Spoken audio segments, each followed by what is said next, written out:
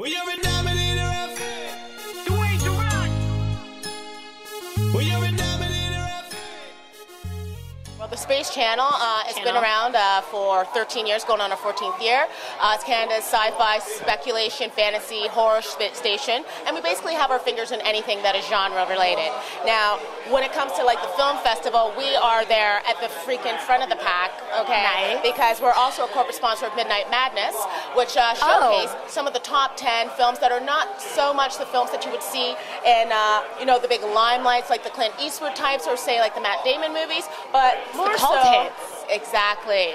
So these movies start at midnight, and they're the hardcore film fans Oh, that yeah. wait like three hours in line to start watching movies at midnight. Hence, you know why it's called Midnight Madness. The madness begins at midnight. But that's where Space uh, really uh, takes a, a, a real true heart in the film festival because we love showcasing these films, like films like, um, uh, you know.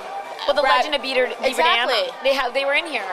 And, cool guys. And, then like Brad Anderson, who was the machinist director. Yeah. He just last night did um, Vanishing on Six, uh, 7th Street. Wow. Which was with um, Hayden Christensen and Thandie Yeah. Newton, and that was just like total Twilight freak zone. But I loved it. So yeah, space really uh, right now is we are really pushing forward and a lot of the a lot of the stuff that is happening in the sci-fi community not just locally not just you know provincially but on an international level as well Yeah. and we also have our you know daily weekly show called inner space where we talk about programs like supernatural Right. um, you know smallville eureka stargate universe and that doesn't air at midnight but at 11 eastern time so you know tune in because we love talking geek